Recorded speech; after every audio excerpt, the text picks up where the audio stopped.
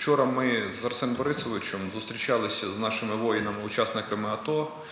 Е, Це був спецпідрозділ міліції Світязь, який, до речі, вийшов з е,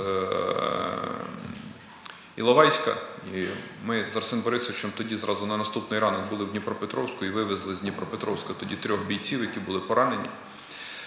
Е, Нагадаю, що у нас відповідно до законодавства учасники антитерористичної операції мають право на отримання земельних ділянок.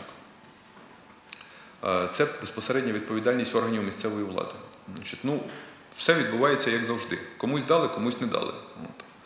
Е, Тому, е, Геннадій Григорович, е, скличте, будь ласка, селектор. Нехай вам доповідь, дадуть доповідь всі керівники областей і мери міст про те, які конкретно земельні ділянки зарезервовані за учасниками АТО для того, щоб норма закону, а саме надання безоплатної земельної ділянки для учасника антитерористичної операції була виконана. Це перше і друге. Ну, у нас є маса різного роду землі, яка знаходиться, ну, наприклад, в управлінні там, національних академій різного роду. Е, Ця земля не зареєстрована, ця земля е, знаходиться в тіньовому обороті, підкреслюю в тіньовому. Ну, свята справа, щоб ця земля потрапила до тих людей, які з зброєю в руках захищали країну.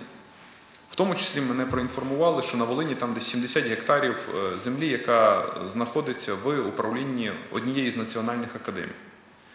Е, Попрацюйте, будь ласка, з профільним міністром. Значить, е, прохання є такі: перший єдиний реєстр, скільки землі видали учасникам АТО. Друге, скільки заяв поступило. Третє, скільки відмовлено.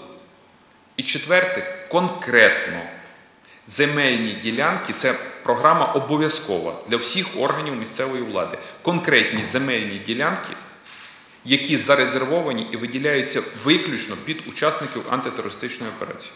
Чотири пункти, і ви потім нас на уряді, якщо можна, проінформуєте про те, як виконується закон.